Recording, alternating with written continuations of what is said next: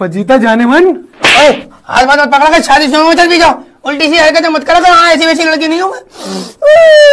रो क्यों रही हो क्या हुआ? जानू मेरे बच्चे। बच्चे? School. School? Fees. Fees? Oh my god कैसे पढ़ेंगे मेरे बच्चे? मैं पढ़ाऊँगा तुम्हारे बच्चों को। तीन लाख रुपए मांग रहे डोनेशन के। मैं दूँगा तीन लाख रुपए। पर बच्चा। पर बच्चा? हाँ। कितने बच्चे हैं? आठ। जानू एक साल तो तुम्हारी शादी को हुआ है कुल अभी। अबे बाकी के अडॉप्ट करे ना। बाकी के अडॉप्ट करे मैंने। आठ बच्चे कितने हो गए? तीन तीन अट्ठे अड़तालीस लाख रुपए हो गए। दे दोगे ना? अड़तालीस लाख रुपए? बस ऐसे कर रहे हो तुम्हारे भांजे स्कूल नहीं जा पाएँगे। भांजे? मतलब मेरे बच्चे मेरे बच्चे स्कूल नहीं जा बच्चा बच्चों को स्कूल जाना बहुत ज़रूरी है। वो पढ़ नहीं पाएँगे। तुम क्या चाहते हो मेरे बच्चे ना पढ़े? पढ़ेंगे। लोग ताने मारेंगे लोग फजीता के आशिक कैसे इसके बच्चों को नहीं पढ़ा पाए। तुम्हारी बेइज्जती हो जाएगी तुम्हारी इज़्ज़त के लिए पढ़ा रही हूँ बच्चों को। अड़तालीस लाख जानू अड़तालीस लाख। तो लेकिन अड़तालीस लाख रुपये बहुत है जानू। करो ना ये कौन सी आज की हो गई है? फिर मोहब्बत में तो लोगों ने पता नहीं क्या क्या कर दिया करो ना कहीं से कुछ इंतज़ाम। जानू मैं करूँगा? चाहे मुझे अपने जिसम का अठारह टुकड़े क्यों ना कराने पड़े मैं करूँगा अड़तालीस लाख अठारह कराओ या बत्तीस टुकड़े कराओ पैसे पहले सेंड कर देना। तुम्हारे अठारह टुकड़े हो जाएँगे तुम तो मर जाओगे मेरे पास पैसे कहाँ से आएँगे?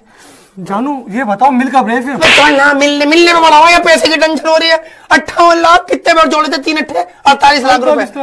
ला ला ला ला ला ला ला ला ला ला ला ला हेलो हेलो अल्फ़ा बीटा छाली सलीम चुन्नत तुम टेंट वाले स्कूल के पीछे मिलो जाफराबाद में हाँ ओ साजिद भुगम तुम चार बजे मिलना हाँ हाँ हाँ। ओ फोक काम बहुत तेज़ी में चल रहा है फजीताबाजी फजीताबाजी हाय, हाय, क्या हो गया चल एक नई चीज़ हाथ में लगी है क्या क्या जादू है जादू दिखाइए देखो ये गूगल है हाँ। इससे कुछ भी पूछ लो सब बताता है दिखाइए जरा ट्राई हेलो गूगल मेरी ससुराल वाले साले तीन तीन टाइम खाना ठूस रहे हैं इनकी भूख कैसे खत्म होगी मैं फजीताबाजी ये क्या पूछ लिया? ससुराल वालों के बारे में नहीं बता रहा? नहीं। अच्छा हमारी बीवी को किस काम का है? पकड़ इसको मेरे ससुराल वाले इतने जालिम हैं तीन तीन टाइम खाते हैं।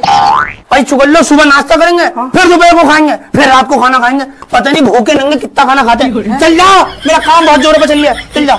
हेलो हेलो साजिद भुकम तुम जाफराबाद में मिलो हाँ हाँ। अमीर घर का बच्चा उठा लिया पचास लाख मांगूँगा। हेलो। किडनैपर जैब स्पीकिंग तुम्हारा बच्चा मेरे पास है। कोई बात नहीं भैया शाम छह बजे तक छोड़ दीजिए ट्यूशन जाएगा। हम्म, चीजी दिलबान नहीं लाया हूँ मैं इसे किडनैप करा मैंने। अजय कौन है? ला इधर फ़ोन दे। हेलो तुम्हारा लौंडा मेरे पास है। अगर मेरी बात नहीं सुनी तो मैं इसके दो टुकड़े कर दूँगा। ए जी आठ टुकड़ों को कह दो सब रिश्तेदारों में बढ़ जाएगा। आज अरे सब में पार्टी फिर रही है तेरा इनाम में निकला है अरे गुंडा भाई माफ़ कर दो यार। देखो मुझे पैसे नहीं मिले तो मैं इसके चार टुकड़े कर दूँगा। ले अभी दो अब चार कह रहा है देखियो तुम ये शाम तक पूरा लौंडा खराब कर देगा। कहाँ फंस गया यार मैं? गुंडा भाई एक बार और माफ़ी दे दो जे पागल अब तुम अगर अपने बच्चे को ज़िंदा देखना चाहते हो तो शाम तक पचास लाख रुपए का इंतज़ाम करो। पचास लाख का नहीं हो पाएगा? नहीं हो पाएगा? तुझे मेरी आँखों में खौफ नहीं दिख रहा? है नहीं दिख रहा है। तुम एक काम करो गुंडा भाई इसी नंबर पर आँखों की फ़ोटो व्हाट्सअप कर दो। इसका तो वापस करना भी महँगा पड़ जाएगा लोग कहते हैं कि पतली लड़कियों से दिल मत लगाना। क्योंकि जिन पे खाना असर नहीं करता उन पे मोहब्बत क्या खा का असर करेगी? सुनो जी आए? मैंने सुना है स्वर्ग में पति पत्नी को साथ में नहीं रहने देते। अरे पागल तभी तो उसे स्वर्ग कहते हैं।